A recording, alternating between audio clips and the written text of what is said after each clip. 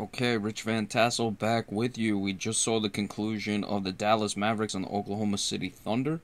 The Mavericks pulling off a shocking victory in this one, 85 84. A basket by Steven Adams on a tip in was waved off the end. Um, it looked like it was no good from where I was watching live, and sure enough, it was no good. And give the Dallas Mavericks a ton of credit, and frankly, you've got to You've got to question the Oklahoma City Thunder in this game. Really, the story is Kevin Durant, 21 points, 9 rebounds, 7 of 33 from the floor, 2 of 11 three point shooting. Russell Westbrook, 19 points, did have 14 rebounds and 6 assists, 8 for 22, 1 of 6 from the three point line, 15 of 55 between the two guys. That's under 30% between these two players. They're too good for that and 3 of 17 from behind the arc. Durant was 5 for 5 in his free throws, Russell Westbrook 2 for 4, and you know, this uh, a lot can be made off the blown lead. Uh, going into the fourth quarter, there was they were showing it on television. We know this has been the story all year long. I, I believe that now makes 15 uh, blown leads going into the fourth quarter. They had a three point lead going into the fourth quarter, and uh, yeah, this would be number 15, so the first of the playoffs, obviously, because they crushed uh, Dallas in the first round uh, game. Now, Rick Carlisle, we know he's an exceptional coach, and he was able to get this victory today, especially with Dirk Nowitzki, 7 19 shooting, 17 points.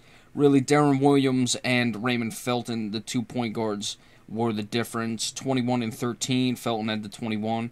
Deron Williams had uh, the 13, 8 of 16 for Felton, 5 of 9 for Deron Williams. 11 assists or 11 rebounds for Raymond Felton, only 8 assists between the two of them. I don't know where Raymond Felton is getting 11 rebounds from, but hey, um, 13 of 25 between the two of them, so they certainly did well. Devin Harris was key off the bench. He was plus 18. And Salah Mejri was also plus 18 in this game. You know, hey, you gotta dance with who brung you. This is who the Mavericks have, and you gotta put all hands on deck, especially with all the injuries. He had 12 points in this game on five of seven shooting. But the real story is the Oklahoma City Thunder with this. This is really, I mean, apart from the blown fourth quarter leads, obviously that is something that concerns you. You know that that is something that I look at as a season to season thing, especially in the NBA. This you know might just be the year where that happens. But the bigger issue and what it's really been, I think, Oklahoma City's bugaboo, apart from injuries, is the fact that it just simply becomes Kevin Durant and Russell Westbrook.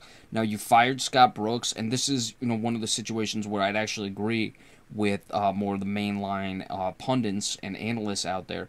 It's and and you can't deny it. It's just way too much Kevin Durant and Russell Westbrook. Serge Ibaka it is not better than James Harden. Obviously, we know that. That's clearly a big mistake. But hey, that happened. That's well in the past. He's got to play better than this. And and the fact is, you just don't really have uh, guys to go to, uh, especially in the starting lineup. You have Randy Foye on the bench. I happen to like Dion Waiters. I think he's an athletic player, and I would probably start him over Robertson in the starting lineup. Give them a little more punch because you just when these guys are not making shots, you're going to have a problem. And that's simply what we saw today.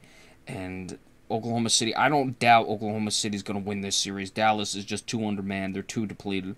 No matter how good of a coach Rick Carlisle is, he's not going to figure his way out.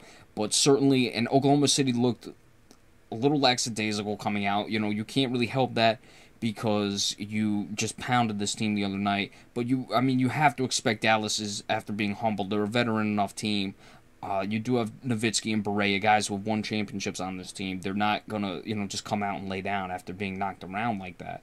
And you know, that's if we're just simply looking at coaches. Obviously, Dallas would win this series every time because Billy Donovan. This, you know, isn't the SEC. This is the NBA, and the NBA playoffs. You got to have your guys ready every night, and they didn't have them ready tonight.